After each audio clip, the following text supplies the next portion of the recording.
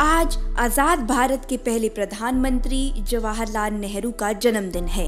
आज children's day है। नेहरू जयंती कहें या फिर बाल दिवस, यह दिन पूर्णतः बच्चों के लिए समर्पित है।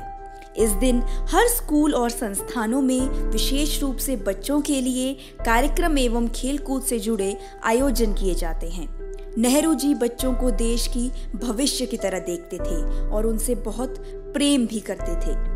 पंडित जवाहरलाल नेहरू अपना अधिकतम समय बच्चों के साथ बिताना पसंद करते थे। वो बच्चों के प्रति अपना लगाव भी बहुत ज़ाहिर करते थे।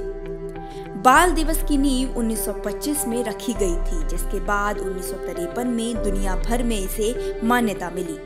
यूएन में 20 नवंबर को बाल दिवस के रूप में मनाने की घोषणा की, लेकिन यह हर देश में अलग अलग दिन मनाया जाता है। कुछ देशों में आज भी 20 नवंबर को बाल दिवस मनाया जाता है। 1950 से कई देशों में बाल संरक्षण दिवस 1 जून पर ही बाल दिवस मनाया जाता है, जिसे वर्ल्ड चिल्ड्रंस डे के नाम से जाना जाता है। इसीलिए आज के दिन हर एक विद्यार्थी को ये संकल्प लेना चाहिए कि चाचा नेहरू के सपने के भारत को समझे और नेहरू जी की सीख बच्चों को समझने का भी प्रयास करना चाहिए। Shweta Negi News Times India.